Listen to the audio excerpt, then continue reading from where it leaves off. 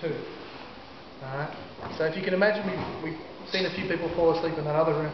We've actually lost count of the number of people who've fallen asleep in this room. This area is called the Legislative Council.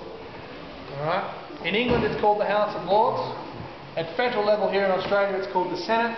And again we borrowed that name from our American friends. Thank you very much.